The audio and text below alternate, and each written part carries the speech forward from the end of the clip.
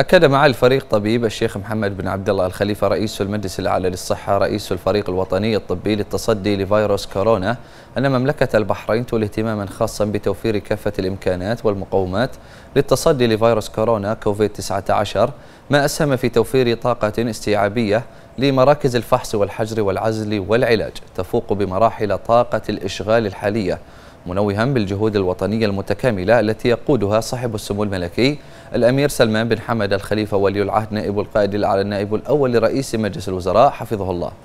حيث كانت نتائج هذه الجهود المبذولة بروح الفريق الواحد دافعا مستمرا للعمل المتواصل بما يحفظ صحة وسلامة المواطنين والمقيمين في مملكة البحرين. وأوضح معالي رئيس المجلس الأعلى للصحة أن مراكز الفحص والحجر والعزل والعلاج يشرف عليها كادر طبي متخصص على مدار الساعة إذ تبلغ الطاقة الاستيعابية الحالية لمراكز العزل والعلاج 1667 سريرا في حين أن بلغ الإشغال منها